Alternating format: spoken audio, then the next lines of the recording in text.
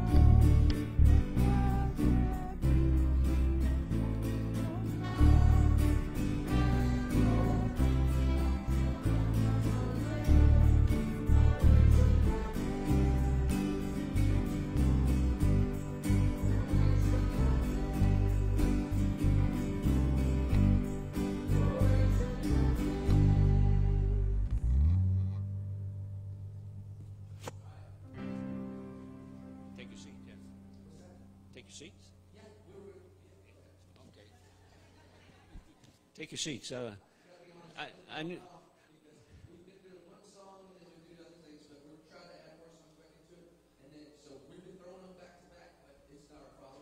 I'm, I'm, I'm.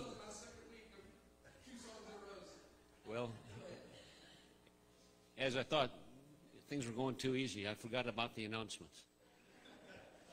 I can see that that thing doesn't help me much because I can't see it. I understand that we have uh, the cookie drive still going, and uh, please bring your cookies. We, uh, Shirley Roddenberry uh, will help you uh, uh, wrap them up, I guess, and, and anyhow, we have that out there. We have a cookie drive for the Boys and Girls Club. Uh, say again? No. Where am I? Oh, Project Giving Tree, yes. Please uh, contribute to that Project Giving Tree. We, we have, uh, do you need to say anything about that, Steve, or you don't? Yeah, maybe I do.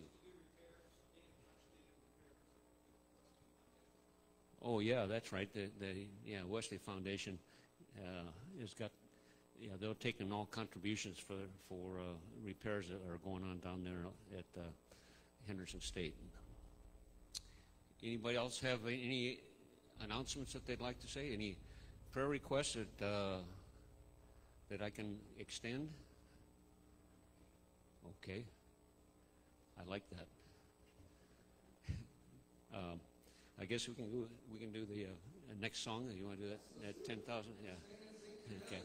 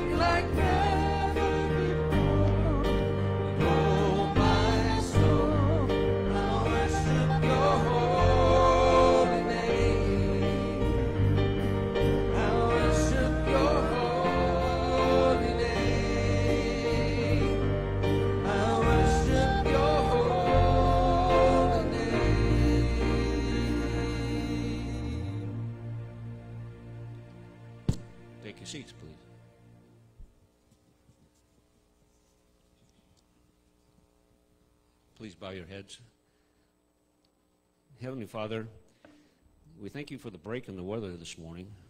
Uh, the heat is starting to overcome us, but we know it's coming back. So we love the break. We so love the living here in the village. We're so fortunate. We pray especially for our church, Mountainside. We're, we're very blessed to have the congregation here and all of us in our, that are here are in relatively good health, and, and we're so thankful for that. Thank you for our military for keeping us all safe. We look forward for our continued health, and we especially praise, uh, bless our, our pastor, Pastor Doug, and and keep his brother Bobby in, in your heart also. He just recently went through a, uh, a uh, procedure this last week that lasted about an hour and a half, but it was the problem was it was three hours late in starting. So, but he's out of the hospital and, and doing quite well, Doug said. Now, praise, praise us. Uh, look at all those uh, in our in our uh, bulletin for for additional uh, prayers. Keep them, keep them in your hearts. We so look forward to to seeing them back, some of them back in, in the church here. Now, teach us as as you taught us to pray, Our Father, who art in heaven, hallowed be Thy name. Thy kingdom come. Thy will be done on earth as it is in heaven. Give us this day our daily bread, and forgive us our trespasses, as we forgive those who trespass against us. Lead us not into temptation, but deliver us from evil. For thine is the kingdom, and the power, and the glory forever. Amen. Now, as the ushers uh, pass the pass the basket uh, for our tithes and offerings. Uh, we are so thankful for everyone that's here and uh, praise that the Lord keep uh, uh, bless all the all the gifts that that we gather and and put it to your great use. Amen.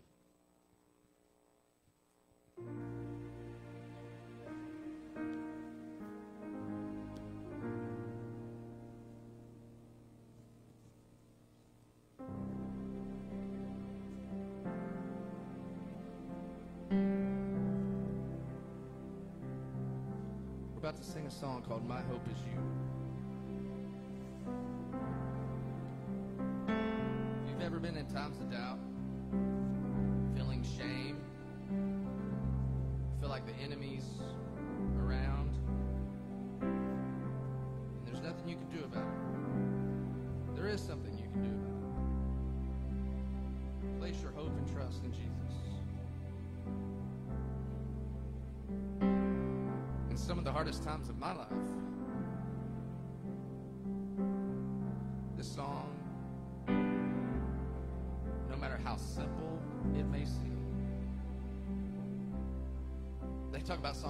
One chord songs. Musically, there's not a lot to it. Lyrically, some may say not profound, but I don't think there's any more anything more profound than putting your hope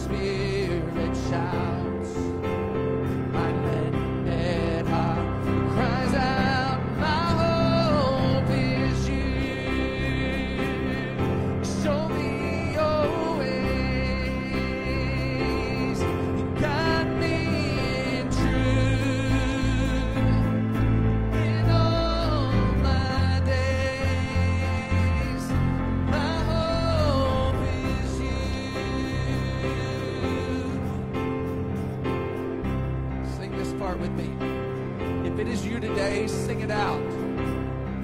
Believe that Jesus is your hope.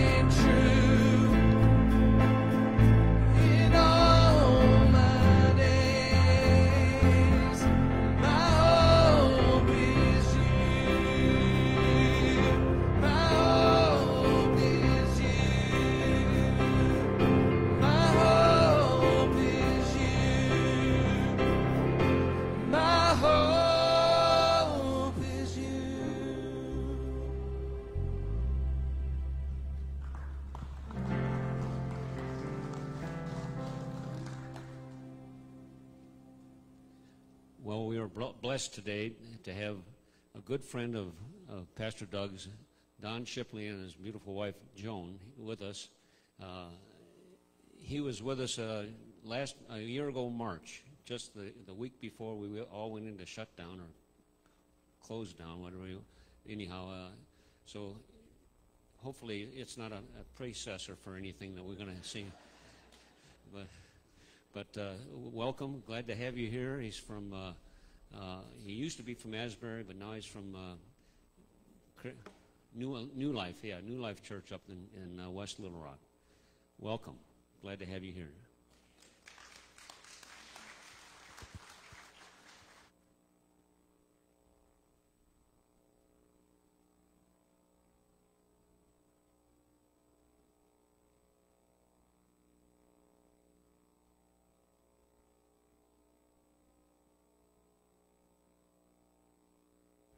I, I forgot to turn it on. Thank you. There we go. I can hear that now. Maybe maybe Doug will be get a chuckle out of that. So, um, but we're very glad to be here today. Uh, my wife is with me. Of course, she was here with me when we were here before, uh, a little over a year and a half ago. Uh, and the Lord has laid a message on our heart uh, for all of us, including me this morning. I find that when I do these, uh, have these opportunities, that the Lord speaks to me uh, more than than anybody else through the week and through the the uh, sermon in the morning of the uh, worship. First thing, I want to call your attention to this beautiful slide. God is here. He's always has been. But look deep into that beautiful, beautiful picture we can learn things from that picture. Obviously, the rainbow stands out, and that's something of God's promise. That's God's promise to us. That's a reminder. But look at the beautiful fields. And it looks like maybe some rain clouds have come by, and in the distance, you can't really make it out. There is a lake. So there's water provided, there's fields for our food. The Lord is continuing to provide for us. And then in the foreground are the windmills, a view of today's technology that God has prepared for this time in our lives and our needs for us to continue to grow. So we gain a lot just from that picture of God's presence in our daily life, and He's always been a presence in our life. So, just a few remarks since I was last here. Um, to be quite honest with you, it's been a whirlwind of chaos. We've had um, a lot of stressful things happen. Many folks have suffered loss. They've had bad health, uh, loss of income, loss of connection with other folks. All of this chaos going on since I last stood right here. Government and corporate entities have ordered isolation. Much of it for, some of it still going on across our nation. Churches turn to virtual, virtual worship. And I will put that in quotes because uh, worship is very special to the Christian experience. A church administration directed no person uh, services. We also have individual anxiety and fear. It's apparent everywhere in our community.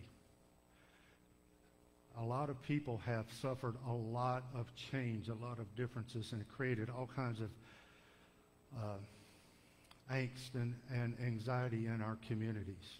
And you can see it wherever you go. Christians have got more information from Dr. Fauci than they have Jesus Christ over the last year and a half. Think about that. We are Christians. We are saved by grace. We are protected by God who has always been. But we get stressed, worried, and we get it from TV, from other messages, from the government, from all kinds of organizations. And we draw back from the one that provides peace. So this morning, I present the same message I did March 15th of 2020. We're right here, right where we're supposed to be today in this place. Amen? So, with that, think about everything that we have experienced and think individually and as a church what the Word of God has for us. And how do we access? The challenge is how do we access the warmth and peace of God's Spirit in our life every day? Bow with me as we pray. Our Heavenly Father, Lord, we come to you this morning with humble hearts. Our minds, our hearts are open to receive you, to receive the message you have for us. Lord, we call on you in this time and in this place. Lord, we lift our sisters and brothers at Asbury up to you this morning as they're experiencing this dreaded pandemic in a very personal way. Lord, we lift our Christian world up to know that you're with us so we can work together and combat what is about us. We know you're prepared, and you have brought to us in this place today your message. These things we say. Amen. So the scripture text is found in Joshua. And the last verse is very simple Joshua 1 9. Have I not commanded you? Be strong and courageous. Do not tremble or be dismayed, for the Lord your God is with you wherever you go. What a tremendously strong message that is. Now, let me set the scene a little bit. When God is speaking to Joshua and giving him that command, be strong and courageous, you've got to understand what Joshua is about to do and what he is taking on. God's servant Moses has just passed, and the leadership of Israel has transferred to Joshua. Imagine the responsibility that Joshua must be feeling. The Israelites are on the banks of the Jordan River. The promised land is on the other side, and God is commanding to go forth and take his promise that he has promised to the children of Israel. And Joshua is to lead them without the great servant of Moses. Tremendous responsibility at that point in time if you think through that a little bit. Uh, scholars have estimated that the children of Israel numbered 2 million, approximately 2 million folks. They're going to go over, do battle, and claim the land that God has promised them. And Joshua is to lead. And God is acknowledging, admonishing him in the first chapter of Joshua. Be strong and courageous, for I am with you wherever you go. How is that different than it is for us? That's the message this morning, to, and I hope that we can find the peace of his presence in our life through this message. So as we go forward in Jeremiah, there's a beautiful verse. For I know the plans I have for you, declares the Lord. Plans to prosper you, not to harm you. Plans to give you hope for the future. So the presence of God and the promise that he's given us here in Jeremiah is to prosper and to have great futures. That seems a little difficult during these times of all this chaos, whether it's pandemic, political, world violence, whatever it happens to be. God is promising a great future and great promise and peace to us. So how do we, how do we find that? The words do not be afraid. The scripture that I, version that I read this morning said, do not be dismayed. In King James versions, there's do not be afraid. So, in the divine word of God, the phrase, do not be afraid, appears 365 times. 365 times God presented the phrase, do not be afraid. Why is this? Well, we're a little slow to catch on. We're a little hard-headed, and I'm speaking to myself. But understand, God is not fear. The enemy is the fear. Enemy represents the fear. God represents hope. Three-step process to access this. Pray. Daily prayer. Studying God's Word and building that relationship with God. In Isaiah 40, 31, one of the very favorite scriptures in the Bible for me. It has a deep meaning for me. This scripture came to me when uh, I moved from Dallas to Pine Bluff, Arkansas, trying to figure out what am I supposed to do in life. Y'all, y'all heard that story last time. I won't bore you with that. But this is a very strong scripture, and I encourage you to, to make note of this scripture and to study it and to break it down as we will here today. Yet those who wait for the Lord will gain new strength. They will mount up with wings like eagles. They will run and not get tired. They will walk and not be weary. The Lord is our strength. We find that strength in our prayer, in our daily prayer. Let's look at this scripture a little bit. They that wait upon the Lord.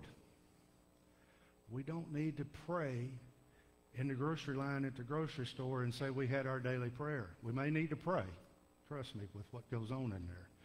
But that's not the prayer I'm talking about on a daily basis time of meditation, quiet, waiting to hear God's voice, His Spirit to speak to us on a daily basis. You can renew your strength through the patience of waiting for God. That's the first part of this scripture. The second part begins to talk to the blessings of those patient believers. If you are patient you will be blessed, and you shall mount up with wings of eagles. You shall not run. I mean, you shall run and not be weary. And you shall walk and not faint. That's the blessing that you gain from the strength of the prayer as you enter into conversation, a meaningful, meaningful meditation daily with God. Now, daily application of this is very powerful, and I have my own story with that over the last year. Uh, daily morning devotional, prayer, reading the Word, Scriptures, taking that in, applying that to that day, breaking it down on a daily basis. It's removed some stress from my life, some hot-temperedness. I'm not saying I'm healed. I'm saying that the presence of God helps me temper those things and understand, and I can feel His presence in those moments. Uh, to be quite honest with you, a little difficult to live with over the last three to four years. Not walking with God daily. Not walking with God daily. The Spirit of the Lord has been much more revealed in the last year for me through prayer and that silent time and devotion with Him. It's a very powerful, powerful time. So I encourage you all to begin a daily prayer ritual that is meditation and meaningful so you can experience the power of prayer. Now in Ephesians 6:17 this is where we really begin to get serious about feeling the presence of God in our life. This is reading the Word, living the Word, and gaining the protection of God's Word. Paul is speaking to the Christians, not to the non-Christians. He's speaking to the Christians in, in, uh, in Ephesians. Ephesians 6:17, take the helmet of salvation and the sword of the Spirit, which is the Word of God. Now, t- Paul's talking in terms of battle. In those days, battle was hand to hand, and the helmet was very important because the target of, the, uh, of your enemy was at your head. The he- helmet protected that. In Christian terms, the helmet is our assurance of salvation. If we are a Christian, we have salvation. That is our helmet. Put it on every day through your study and let it protect you in your life. The enemy is about us. Satan is here, presence, everywhere we go on a daily life. If we allow him to sow the seeds of doubt and discouragement, we will fall back from the life of Christ. We protect ourselves by putting on the helmet of salvation and the assurance. Then the, the tool of battle in those days was a sword. You went after your enemy with a sword. The battle to beat the enemy we deal with as Christians is the Word of God. That's our sword, and that's what Paul is saying here. That is something that those folks understood and they could take that, and it's the same for us. We absolutely should every day in the Word of God. And I'm not talking about read a chapter, get a check mark. I'm talking about contemplate what that Scripture is saying to you. If you have a study Bible, read the footnotes to break down that verse. Study the Word. Don't just read it for a check mark.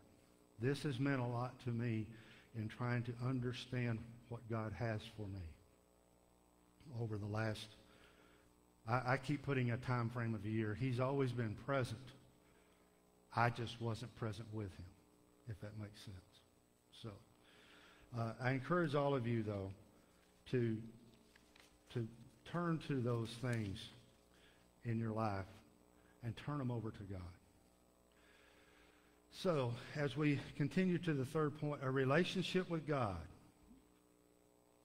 having a relationship in God brings peace to your life. Whatever might be troubling you, whatever loss you've had, whatever problem you're confronting, if you have the Lord Jesus in your life, you have access to peace. Philippians 2.5. It's a beautiful verse. Let this mind be in you, which also was in Christ Jesus. Now think about that verse. This verse in Philippians is saying, have the mind of Jesus. Let that be in you. This mind is humility, selflessness, encouragement. Those around you need you as a Christian to stand up and encourage them. Think of them. Put yourself in their position and try to put your arm around them and encourage them. Be selfless. Can you imagine what this chaos of the world that we live in today would look like if every Christian approached every day with the mind of Jesus? We were demonstrating humility. It wasn't I first. It's someone else. It's we. What could we do together? It's selflessness. How can I help you? That's a little bit far out of my way to go. No, wherever you're going, I'm going. The mind of Jesus and encouraging folks. So, as we conclude this morning, I'm going to try to, to, to bring this to the challenge.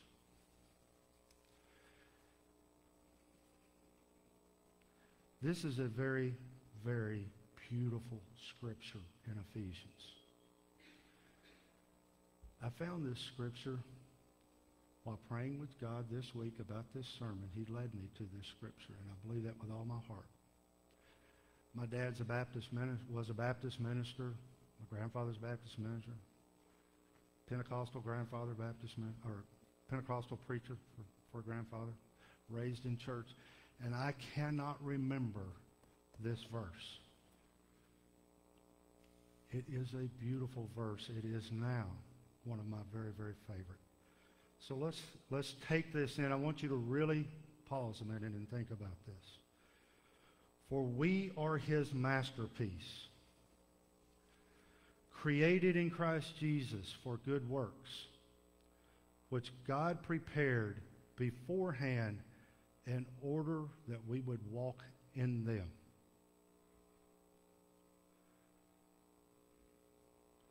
Of all the things God created, the heavens and the earth, everything that's here, the first picture we started with, we are his masterpiece. The Bible is the story of restoration of man from Adam back to God. Because God loved us that much, he gave us Christ Jesus for our salvation. Because we are his masterpiece. The very best he did. That's humbling. That just really gets to the heart of what we have as Christians. As his masterpiece, we don't need to live in fear.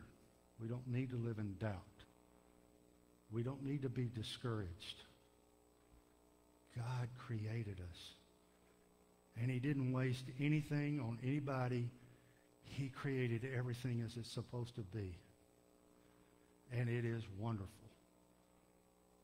It is a masterpiece.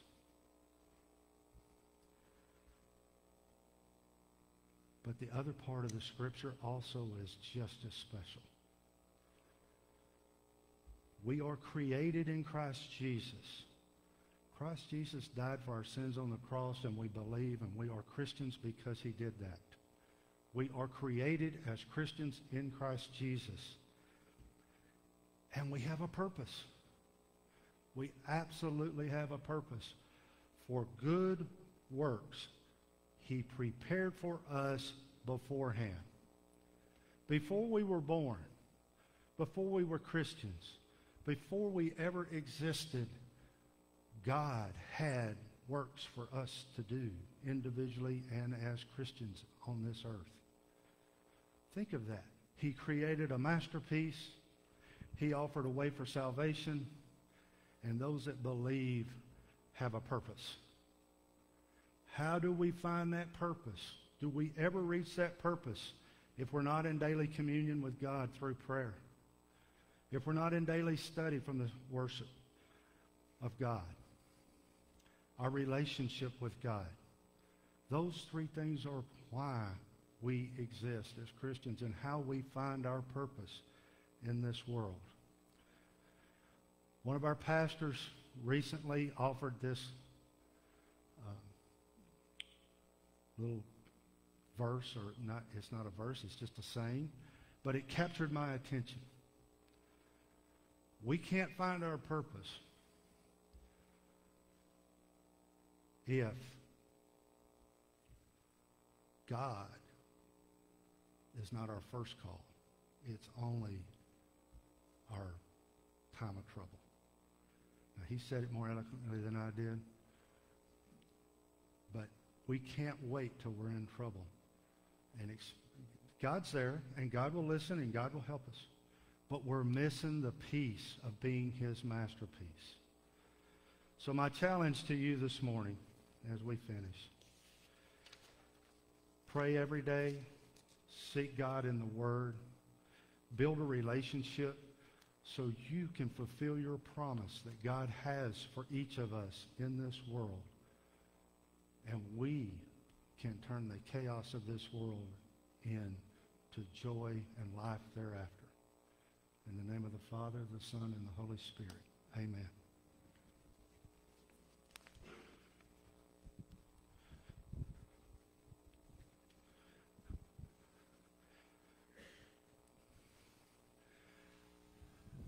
Welcome. I, uh, I appreciate that song, brother. You got away before I got up there. That was a beautiful song, and it was so perfect. The hope of Jesus. Um, so as we come to the end today, um, if if you have a time that you need to speak to someone, I'm, I'm more than willing. The lay leaders here, come speak to to us. But I do ask you to look in your heart and pray right now that God will reach in there and revive and let you feel your purpose in this world. We're to do My Hope Is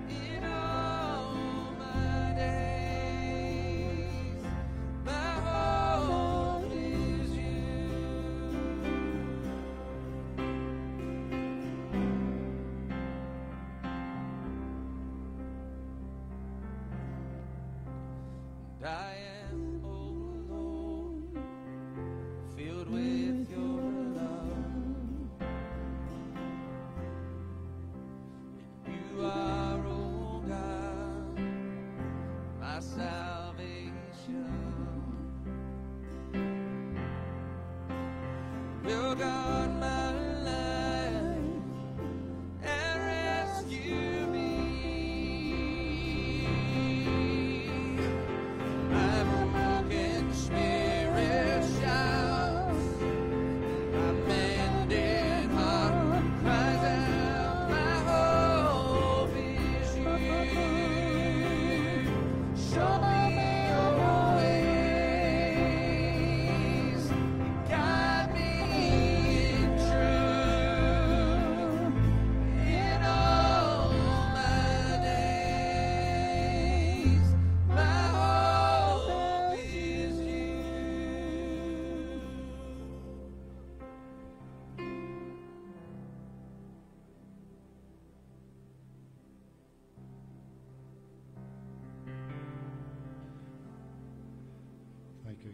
Beautiful song. I appreciate so much the opportunity to be here with you this morning.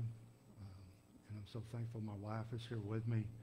Uh, we've had our own stress uh, of health and other things over the last few months, and uh, the Lord's taking care of us, and we're happy for that and very blessed. Um, but take today and pray and think about how you're going to change your life and then change this village and then change this state and then change this world. Offer this blessing. Heavenly Father, go forth with us as we leave this place and this, as we step out into chaos, Lord. We know you're with us. Give us strength. Give us courage. And that we seek your way and that all these people would be blessed and honored to serve you and that you will bless and honor them. These things we say. Amen. Appreciate it.